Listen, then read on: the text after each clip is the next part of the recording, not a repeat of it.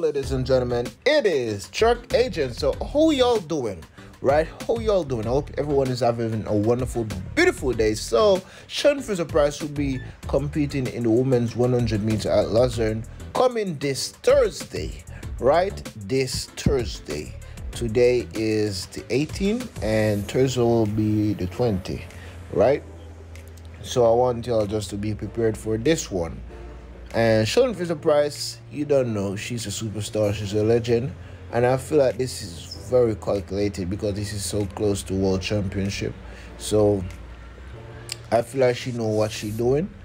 And I'm still wishing her the best, of course. Y'all can comment and tell me what you think. I've, as always, you know, because, you know, I need y'all opinion so I can have a better understanding of, you know, your view about the situation. So Thank you for watching. It is Chuck Adrian. Blessings to y'all. Have a wonderful, beautiful day or night. See y'all later.